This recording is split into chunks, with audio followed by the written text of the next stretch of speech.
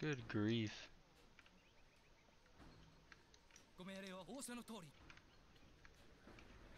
The shape of your bosom makes me quiver to my very soul. True.